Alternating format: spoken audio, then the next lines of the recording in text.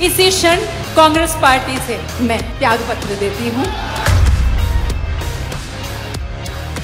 इसी कार्यकाल में श्री नरेंद्र भाई मोदी के कार्यकाल में ही जीर्णोद्धार हमारे जहाँ से हम सब कुछ प्राप्त करके अपना जीवन शुरू करते हैं और संपूर्ण भी कर देते हैं।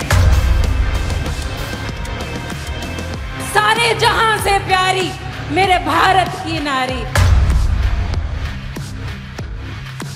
इस इस प्लेटफॉर्म से मैं आपको बतलाऊँगी केवल वार्ड नंबर इक्यासी नहीं, समूचे लुधियाना और लुधियाना के बाहर भी अपने काम के द्वारा विशिष्टता कहूँगी, विशिष्ट रूप से मैंने अपने पर्यावरण और महिला उत्थान के क्षेत्र में मैंने अपनी सेवाएँ दी हैं, जिसके कारण सभी जितनी भी पार्टीज़ आज वर्तमान समय में देश में कार्य कर रही हैं, सेवा कर रही हैं, सभी के द्वारा मुझे विशेष प्यार स्नेह वात्सल्य मिला है।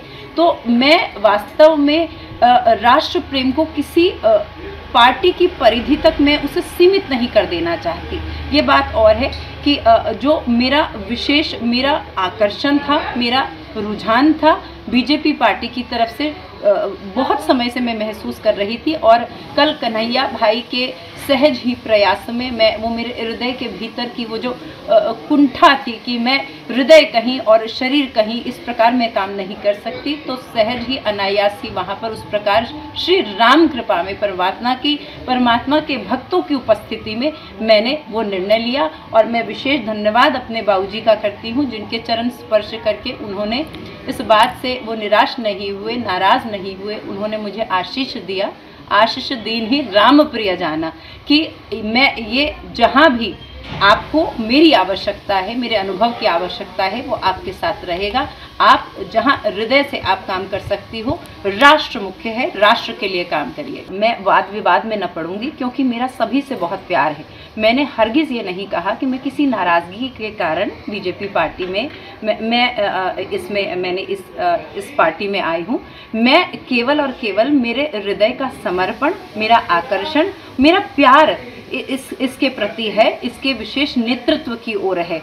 आप आप बताइए कि हिंदू होकर जब हम अपने तीर्थ स्थानों में जब जाया करते थे, इतना दुख होता था कि हमारा राष्ट्र आज जहाँ हिंदुस्तान, यहाँ के हमारे तीर्थों की आप अगर वहाँ अवस्था देखते तो हृदय बहुत विदीर्ण हो जाता था। मैं विशेष धन्यवाद, ये धन्यवाद के साथ मैं अपना जो भी मेरा छोटा सा प्रयास रहेगा, मैं अपनी सेवा प्रयास उस नेतृत्व के चरणों में समर्पित करती हूँ, जिसने हमारा केदारनाथ हमारे बद्रीनाथ, हमारे महाकाल, हमारे राम परिसर, उसके पश्चात आप देखिए अब हमारा जो चल रहा है वृंदावन की तरफ़ अ, उस कॉरिडोर को भी हम सबसे पहले जहाँ से हम शुभ भावना जहाँ से आशीष लेकर जहाँ से देश की सुख समृद्धि जहाँ से हमें प्राप्त होती है हम उन स्थानों को सबसे पहले उन्हें स्वच्छ करें उनका जीर्णोद्धार करें और जो कर रहा है उसके श्री चरणों के प्रति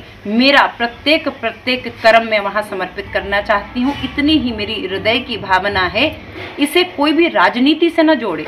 और मैं जो हम उनको लाएँगे, जो हम, जो राम को लाए हैं, भक्त के वश में है भगवान, भक्ति के वश में है भगवान।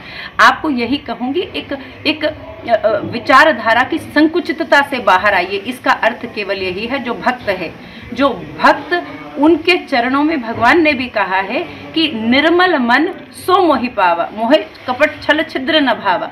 तो परमात्मा परिणाम किसको देते हैं, सफलता किसको देते हैं, जिस पर वे रिझते हैं, जिस पर वो वे श्री हस्त रखते हैं। तो आप देखिए, पिचहत्तर साल का हमारा इतिहास इसी इसी कार्यकाल में श्री नरेंद्र भाई मोदी के कार्यकाल में ही जीर्णोद्धार हमारे, जहाँ से हम सब कुछ प्राप्त करके अपना जीवन शुरू करते हैं और संपूर्ण भी कर देते हैं तो यही एक कारण है। केवल जिसके कारण मैं यहाँ पर अपनी सेवा समर्पित करना चाहती हूँ, इसे राजनीति से हरगिज न जोड़ा जाए। मेरी किसी से कोई नाराज़गी नहीं है और केवल भक्त भक्त ही भगवान को ला पाने में सक्षम है। उस भक्त का हमें हाथ पकड़ना होगा।